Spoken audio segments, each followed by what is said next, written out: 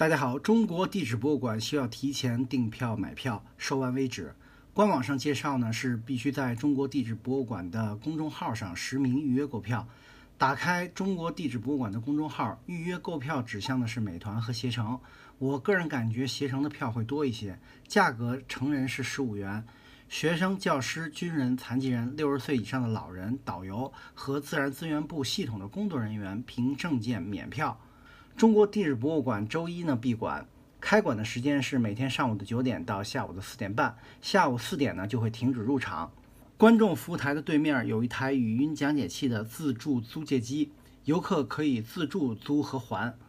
有中文和英文的讲解，租金都是二十元人民币，押金两百元，微信、支付宝都可以支付。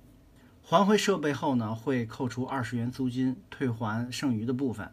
一楼呢还有电梯，乘坐轮椅的游客呢可以乘坐，普通游客呢也可以乘坐电梯直接到四层，从四层开始参观，这样只需要下楼梯，不需要往上爬楼梯。更多旅行实用攻略，请观看视频合集，麻烦点赞、收藏、加关注哦。